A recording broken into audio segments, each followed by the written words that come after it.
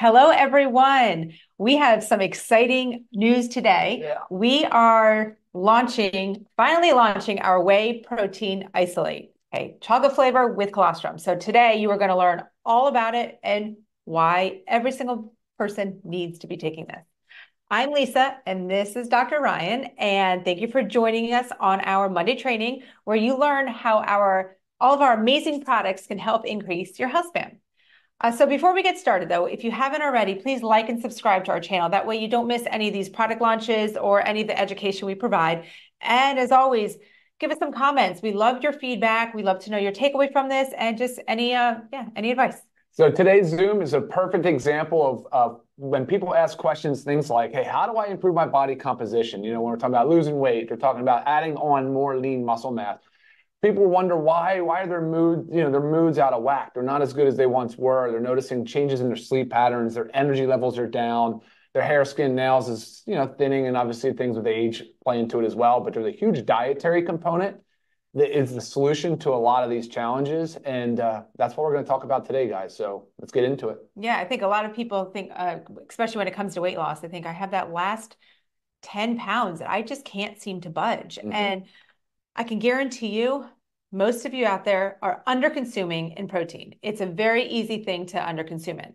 So um, that's one of the main reasons why we all need to be taking this every day because A, it's very hard to get in the amount of protein that our bodies need, um, especially to stay within our calorie range, you know, because sometimes, you know, protein sources can be higher um, in, in calories. So to actually get like me personally, I, I, I am high. I'm about 150 to 160 uh, grams of protein a day. So to get that in, um, it's very challenging to do just by eating maybe um, chicken and beef and whatnot. Our protein, this amazing protein, is 20 grams of protein for 100 calories. So very easy to do. I mean, even having it a couple times a day, 200 calories for 40 grams of protein. Done. And that's easy. And exactly. So one of the attributes of this whey protein is that it's a 90, 90% whey protein. So that's the dry weight basis of the protein and just so all you know that we obviously have a, a plant-based uh, protein that's vanilla flavor. And so we added the chocolate as a way, as an option, and but I recognize people have flavor right. preferences. Right. And uh, so, you know, look, we're going to continue to evolve and, and bring out new products, guys. So just so, so excited to now offer this as an option because this just is a little bit historical data about the way that whey protein uh, versus plant-based protein. Neither one of them have really been that easy to digest. I mean, they sometimes are very difficult on the gut. If you want to learn about how our protein, our, our plant protein is different, then there's another video, of course, that we did on that one so that you can learn how the fermented pea improves a lot of those, those less desirable characteristics.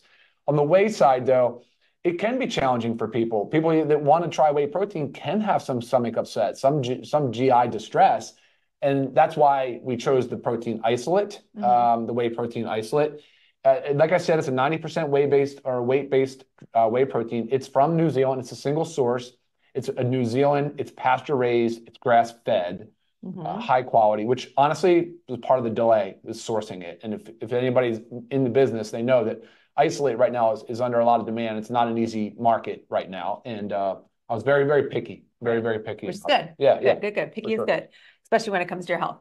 Yeah. Um, okay, so let's take let's take a step back and let's yeah, talk about cool. whey protein and like what is whey protein. So your milk milk dairy um, actually has two parts. It's your casein and your whey. Mm-hmm. Okay, so casein is about 80% of, of the milk and your whey is 20%.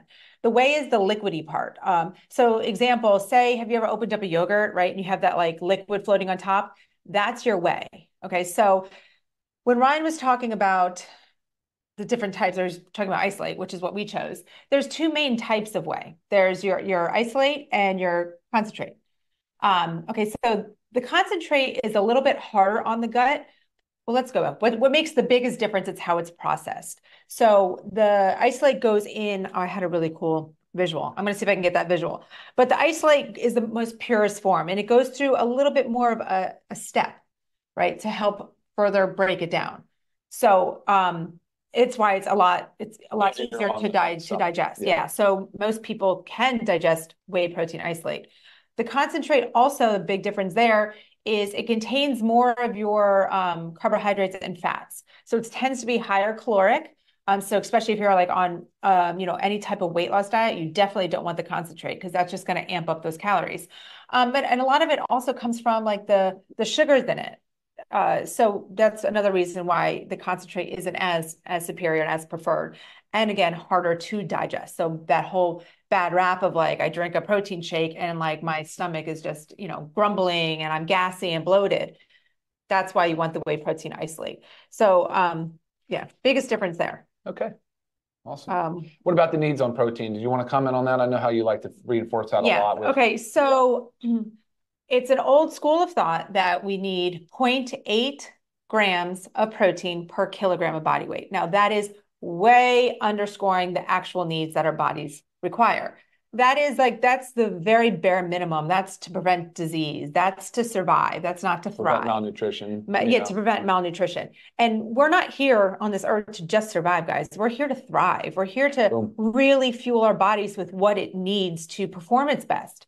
Um, so a great rule of thumb is about one gram of protein per one pound of body weight so um, that's a lot. It's, goal, it's a lot. That's it's what I, I, said. It's a lot. So that's why using um, a supplement for a protein powder really helps you reach that goal. Um, but it's crucial. It is crucial. Uh, muscle mass is what helps us with aging. It's sure. what helps us keep a lean body mass. It's not just about losing weight. It's not just about losing that number on the scale, guys. Um, it's about transforming your body composition. It's about decreasing the fat and increasing the lean, the lean muscle mass. And that's altogether um, the improvement that you want. And you have got to consume adequate protein. I mean, like as Ryan mentioned at the beginning, there's certain other things. Uh, brittle hair, uh, nails, you know, your skin is is dry and um, cratery. Uh, what else do you say? Lack of sleep, um, or you just feel tired all the time. I mean, all of these things can just be as simple as increase your protein intake. Yeah. It really can. Well, at the core of the protein is the amino acid profile. Yes. And that's one of the reasons why the whey protein has been sort of the leader, the yes. superior type source of protein for so long, is because there's really not much else. I mean, now some of the plant-based proteins are getting close to it. Soy had been right up there, but soy is sort of sort of out of favor now. Right. But the whey protein has obviously the uh, the best, most desirable uh, amino acid profile mm-hmm. for those reasons, because it helps maintain the body's muscle protein synthesis. Uh, so that way the, the body is not breaking down the muscle, because that's what will happen in fasting states and different times of life under a lot of stress is like the body will break down muscle to free up the amino acids because Remember, these amino acids are the building blocks for other things like hormones and neurotransmitters right. and enzymes. Very, very, very important biological and, well, I guess, uh, yeah, the physical right. component of it. So, right. And it really um, biochemistry, um, maybe that's. I was looking. I was looking at a chart too, and whey protein isolate is most comparable to like the incredible edible egg. I mean, it really is lines up there with the bioavailability, with the amount of amino acids. I mean, mm it is just so powerful and healthy. And what Ryan was talking about, the amino acids.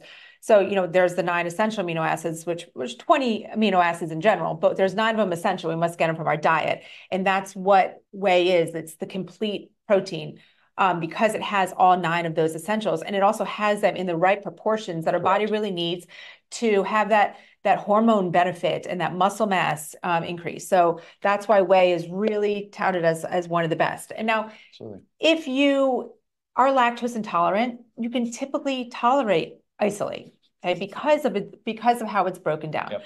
Um, but if you have a dairy allergy, that's a different story. And but again, that's also why we have a, a vegan source. Um, but Ryan, let's tell us. So we have our whey protein isolate. Yep uh, that we know now contains all the nine essential amino acids because that's what whey protein isolate is. What else have we done to this to enhance it to make uh, it that much better? And for our yes, uh, the health of the, yes, two main things. So we added colostrum mm-hmm. and then we added digestive enzymes. The colostrum is is is fantastic. It's it's also a pure grass fed because it, again it's it's the first milk, mm-hmm. so it's still from bovine source. Um, if you Google a little bit about colostrum, you'll see that it's very, very popular, popular in the kind of two main segments, really health and beauty. Mm-hmm. Uh, it's sort of overtaken collagen a little bit. It's kind of competing for some of that space, but I like both of them right. still. And then it's also really in the gut health and immune health. Yeah. Right. So Huge. a lot because it's 20% IgG, so immunoglobulin G. So when you start getting into about the benefits and how it works, you really will learn that colostrum is an incredibly powerful bioactive compound. Mm-hmm. There's just so much, so many uh, things going on with that product. So right. great for for for the tight junctions in the gut. So people that suffer or have years of abuse of gut gut lining sort of destruction, if, mm-hmm. if they've been on, you know, acid suppressing medications for reflux. There's a lot of meds that can really disrupt the microbiome in the gut, but leaky mean, gut has become a popular. I was going to say, not to mention, most of us have some kind of gut issue where there's inflammatory foods yeah. or something going on. Colostrum has been shown to be very beneficial. Um, and of course, we're talking about the gut at all times. We're never not thinking about the gut when we formulate. It's always a priority for us. And so colostrum seemed to be a really nice fit in this product. And you'll probably see colostrum again in the future from us because we like working with it so much. Sure. Um, so yeah, I mean, so the colostrum, great. In addition to the the, the di- digestive enzymes. Yeah. Yeah. So digestive enzymes, we all, I mean, I think people know about them, but I mean, they're really everywhere. They're in our they're in our saliva, uh, but they're very very prevalent in our gut because that's really what is the, the the cornerstone for breaking down foods and freeing up the nutrients so they can absorb really in the in parts of the gut, but sometimes in the small, mostly in the small intestine. But right. digestive enzymes are so, so, so critical. And, you know, it's, it's unfortunate, one of those things where you're starting to see such a, a decline in people's uh, concentration of digestive enzymes. Right. I was going to say, know. in a perfect world, we would not have to supplement with digestive enzymes, guys. We, um, our body makes them, but that's the problem is we're not making this. So you could be taking all the protein that you want and um, and this can be shown too on you know a, a, simple test from your doctor and it could show like your protein is low and it just shows too that your body is just not absorbing it. You're taking it taking it taking it. You're not breaking it down. You're not absorbing it so you're not able to get the benefits. So it's almost like you're consuming say 150 grams of protein, but your body's not utilizing it. So the digestive enzymes really help to um, to break it down so you can absorb it. And you know they're targeted for you to uh, what digestive enzymes are targeted for is your mac to help you digest and absorb your macronutrients, yeah, proteins, protein. carbohydrates, and fats. Yeah. And here we have it, you know, obviously it, designed for our exactly. So the word protease, the ACE is the enzyme mm-hmm. aspect, breaking down protein. You have lipase breaking down the lipids. Um, amylase, and then we have, I have a note here, amylase, and then uh, the protease. And I said that, right? Amylase, lactate, oh, sorry, lactase. So you're lactic, mm-hmm. lactose, right? Yep. Uh, which is great. And then so the flavor is chocolate, but you'll notice we added a little bit of vanilla and some Himalayan sea salt to balance out the flavor profile. Because challenge the challenge is flavor, guys. We don't like ultra sweet. We try to keep uh, the amount of additives at a very, very, very minimum, at the absolute bare minimum. Right. In addition, we had organic um, organic, the, the vanilla flavor is organic. It's it's obviously a natural organic vanilla flavor. And the monk fruit, uh, we use monk fruit as a primary sweetener and a little bit of stevia. Both of those are organic as well. Right. And if you um, once we launch it, which um, we should be making this live yep, tomorrow, so make sure. Um, but once we do, you can also look at the ingredients, and there's very few, and that's one. That's all. I just listed all of them. Yeah. Oh, and the organic cacao powder. Right. So, and that's yeah. one thing you really need to look for when you're looking for a, a protein supplement. I mean, there's so many on the market. I actually would just the the um, protein powder market is expected to reach 32.6 billion by 2027.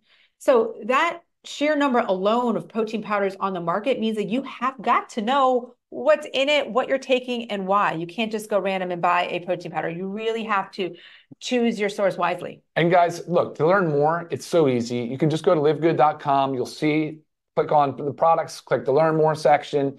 You can dive in there, see more about all of our other awesome products, and there's an easy place right there where you can buy the product right. at livegood.com. And even easier, just click the link yeah, in the description, and it'll take you right to the protein powder.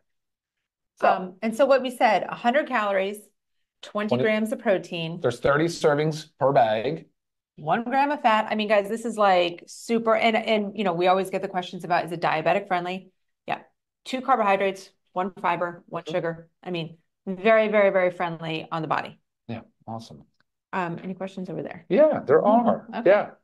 Uh, oh, so they just asked what we sweetened it with, and I just said it's predominantly monk fruit yep. and uh, a little bit of stevia. And it's not overly sweet, you know, because again, when you're making a protein shake, it's also very easy to add things to change it a little bit rather than find something that maybe has all these extra added flavors and type of things that you don't want. So if you prefer something um, maybe a little sweeter, you can add your own a little more stevia. You can add half a banana. I mean, you know, obviously the choices are endless. The variety is endless. Question from anonymous: Is best time to take it? Can you talk about that a little bit? I mean, any recommendations for using it before or after exercise? Best time to take it is, I mean, any time that works for you, honestly. But there used to be a school of thought that you would have to work out and consume, you know, in 30 minutes. Now, if you're looking, if you're really like into bodybuilding, um, yes, maybe within those 30 minutes of working out because it helps with the hormone response, which obviously helps with the muscle synthesis. Um, but honest guys, make sure you're just getting the protein in throughout the day. So use it as a snack in between meals um, because obviously 100 calories is not a meal. So this is not a meal replacement but you can make it a meal replacement by adding start adding other ingredient ingredients to it. So um, again to have a meal replacement you really want your three macros in there. And i just told you that our carbohydrates and our fats are very very low like one gram. So you need to add those to it to make it a um, uh, so meal replacement. Thank you. Yeah. So let's say add some avocado, add a quarter of avocado, add some fruit, Okay, there you get your carbohydrates from the fruit. Um, amp it up. You put our collagen in there, right? How about sure. our coffee? Coffee and chocolate, yes, I yeah, mean, delicious. Sure. Um, so right. And then Melody also asked, is it the current weight? So if the goal of protein is one gram per pound of body weight, desired. one gram, it's desired or ideal body weight, yeah. which if you're not sure what that is, ideal body weight has a generalized uh, calculation. You can just Google that for IBW, and you, I would do it based on that. Yeah. Yeah, perfect. So right here we have we have our um, little blender frother. Just put a scoop oh, yeah. of it Super in easy. water. So this is the most simple, you know, basic form. Mix it up. So easy. It mixes so very nice. That was close. Anna asked if we've added L-arginine. No, no, no. The amino acid profile is its standard amino profile based on on the whey. And good. It's nice, right? Is it nice? Yeah. Awesome. There was a question here. Um, Chicky asked, is it meal replacement? I think you just answered that. That's awesome. It's not. And uh, guys, I'm going to go back to the top. Otherwise, and I'll go back to just touch on meal replacements because you you did ask to. Um, so there's no in the US, there's no regulation for meal replacements. So you have to be a little careful with that marketing because you might go to the health food store and you see a protein powder on it says meal replacement. I, we could have put that on here but I'm straight up telling you that 100 calories is not enough for a meal. The protein content, sure, but this is not a full-on meal replacement. But again, you can make it that way. And, you know, we will give examples. I will give recipes as, you know, we play around and experiment with all different things. I mean, I even like throwing some sweet potato in my protein shakes. Why not, right? If I'm using it as a meal, make it a meal, right? What are the questions? Uh, no other questions. There was a question, actually, there was one thing, I'm not sure, uh, about price but it's 30 servings in a bag. I can't believe how low the price is, to be honest with you. For members, it's going to be under $30. Right, which is awesome. I mean, that's and, under a dollar per serving. Yeah. Very, very thrilled and happy that you guys that we can get this to you at that price yeah. point. So make Nothing sure, else like that. Right. Um, also, another way to do it, guys, is you know we have our shaker, which is on our website, and the bottom two compartments unscrew. Okay, you can put your protein powder in there and you can mix it up for later. So very easy. Take this with you when you're ready to go. You dump your protein powder in, you put your liquid of choice in. Water is just perfect. Shake it up and it's easy to go. So there's really no excuse, right? We should never be driving around thinking, oh my God, I'm starving. I need to run and get some fast food. This is your fast food. Natalie asked a question. They said, can a person with celiac, wheat allergy, or gluten intolerances use this product? Um, there should be no reason no, why not. I mean, we are tested we're tested gluten-free. Yep. Um, there's Yep. no wheat, Yep. gluten. Yep, as usual, you'll see the certificate analysis, heavy metal testing performed, uh, gluten testing, and pesticide, common pesticide testing. Right. All right, awesome. Yep. So again, this is our new release of our whey protein isolate with colostrum. And we talked about the added digestive enzymes. It will be live on our website tomorrow, so make sure you check that out. Um, you will see the price. You get to play around with the ingredients, um, share with your friends. And if you don't know anything about our um, our plant-based protein, you know, you can just click on the video right here, and then you'll learn all about our plant-based protein as another option to protein sources. All right. Sounds good to me, guys. All right. Thank you guys for tuning in. We hope you learned something and cannot wait for you guys to try this and let us know how you like it. Take care, everyone. We'll see you next time. Bye.